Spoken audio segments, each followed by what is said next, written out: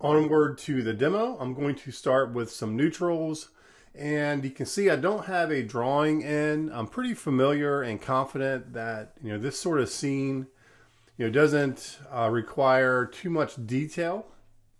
But I am going to start with one of the largest and main shapes, which is the building, and just a little bit of uh, you know umbers, burnt sienna, some neutrals, whatever's on my palette, just to get uh, a really pale wash. And I will say one thing that I'm kind of a stickler to is building up my watercolor paintings in layers. I like to start with a very thin layer. Uh, so when I say thin, of course, I mean watered down. So lots of H2O, very little pigment. so if we were to uh, look at the, these colors going down and let's say de desaturate them, um, the values of these colors are going to be very pale. So if you you know laid out swatches where one was very dark, very saturated, all the way to a very thin, transparent, light value swatch. You know, I'm using those, you know, first two or three swatches. So extre extremely light in value, very little pigment. And then that way I can build it up with each layer. So as you can see, I went around where the cars will be on the right hand side. Um, that's going to allow me to have a little more control over those shapes later on. And it's going to reveal the you know, that crisp white area of the paper, which I tend to like. Uh, some artists like to tone the whole paper. They don't like that bright white showing through. I happen to like it. I, I like the feel of it. It feels very fresh. So I always try to leave a little bit. I did go back in where the awning is going to be, and I added a little more red because I don't really want to go over that red anymore um, because I, if I do, it's going to be too powerful. So this is completely dry. I took the hair dryer to it, I dried everything 100%. You can see all those values are very late, uh, very um, light, and they're also um, they're pale. They're very transparent. So now I'm going to move in with the darker uh, paint, and they're all. It's also a little more saturated. So all the colors I mix up now uh, tend to you know have less water and more pigment. And uh, therefore, they're going to be darker in value as well. So um, this is a good way to think about watercolor painting. Um, if you can think you know, light to dark, which is, you know, if you've been around watercolor for a little while, you, I'm sure you've heard that term. I think it's a good way to approach the medium. Uh, unlike acrylic where we can put light over dark um, because it's a little more opaque, uh, you don't really have that luxury uh, with watercolor. So you have to sort of plan things out a little bit, a little bit more anyway. Now I'm going to move in with some greens. I don't want that green to be too saturated. Um, if it's too vibrant near that red, it'll feel like Christmas. Not that there's anything wrong with Christmas, but I want the green to be toned back a little bit. Um, so I'm going to use Neutral Tint and Cad Yellow Lemon. Uh, those two create a really good uh, darker green. So it's in the green family, but it's not so um, vibrant that it jumps out at you. And of course, I wanted something a little bit darker too that I could um, carve out the edge of the awning and also add a little tree to the right hand side. Now I move to my needle brush. I'm going to do a little bit of line work in the background. Just want to indicate or really suggest uh, a couple of buildings, maybe a little shadow here and there, and then leave it alone. You have to be careful with the background if you start, if I start putting too much information into the background, uh, then it's going to come forward. Uh, it's going to become um, it's going to want your attention. And I think the background should be left in the background. It should be a backdrop. And I, I like to put a little something there uh, just to give the middle ground and foreground something to rest on. But again, I try to avoid, and I also recommend, you know, adding few details. So now uh, sticking with that needle brush, adding some branches, a few little um, details here and there. I'm going to suggest some windows in that building. But because the left side of that building is in shadow, I don't want to add too much information. Uh, if you put too much information into the shadows, uh, then it doesn't look like a shadow anymore. Um, but if you really study landscapes, uh, cityscapes, uh, you'll find that things that are in shadow uh, tend to have less detail. So try to I try to avoid you know adding bricks and all these little subtleties because um, you know typically um, it's going to ruin the painting. It's going to get too busy, and you know the shadows are really intended to help showcase the light side. So of course the light source is coming from the right hand side. So that right hand side of the building is going to have a lighter value.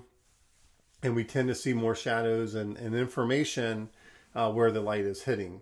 So now that white of the paper where the cars will be is starting to come in handy. I'm going to add a little bit darker value to the backs of the cars and then just go in uh, with my this is a sword brush and just create some nice loose strokes. Um, uh, you know, you have to, again, be careful here. This is a, a, part of the painting where you want it to be descriptive. Uh, we want to be able to look at these shapes and identify uh, the cars uh, as opposed to looking at them. They just look like blobs of paint. Um, I tend to have certain areas that have, you know, crisp, hard edges and other areas of the painting that can you know, be a little bit softer and blurry. Uh, but those cars are where the light is hitting, and I wanted those edges to be nice and crisp. But I add a, a few shadows, a few windows, and uh, now I'm going to move in uh, with some tail lights. I'm starting to suggest some figures as well. And this is one area that I think, you know, not using a drawing really helps uh, I find if I use a drawing, and I, and I do use them, I'm, I'm, not. You'll see my demos. I there's plenty of situations where I prefer a drawing, but for a scene like this, it's not very complex, so I can go without it. But the the beauty of it is that you know you don't have all these lines that are pre-drawn, and you feel like you have to stay within those lines. Um, and you can also use some of those the abstract quality, some of those uh, strokes that were put on during the first wash and, and the one I'm applying now, you can sort of extract things from it. So you can look at it and go, oh, that'd be really nice to kind of rub that out and put a little figure there. Or I like the way that stroke's coming down. That could be the top of the head and that could be a figure. So it's kind of interesting sometimes to to not have that drawing and to not have all those outlines because you can sort of um, maximize all of the the wash itself and to place things according to what the wash is giving you versus what you uh, where you feel they should go and and have everything planned out. So that may be a little bit uh, maybe difficult to grasp and learn or, or try in the beginning because you're afraid of making mistakes but it's just a technique that I've sort of come to appreciate and use a lot these days.